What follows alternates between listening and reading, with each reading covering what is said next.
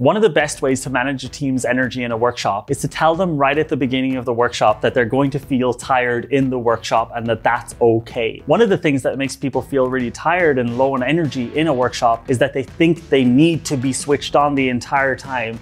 And if they get tired, they're ruining the whole thing. But in the beginning of every workshop, I tell a team, you're gonna feel tired. After lunch, you're gonna have a slump. And in the workshop, I'm saying, are you feeling that slump now? You're feeling the low? That's okay that's normal. That's how it feels to be in a workshop. And just telling them this will counterintuitively keep their energy levels up a lot higher than if you don't mention anything.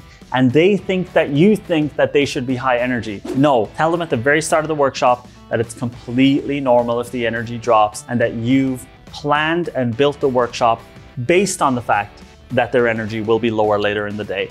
That's it.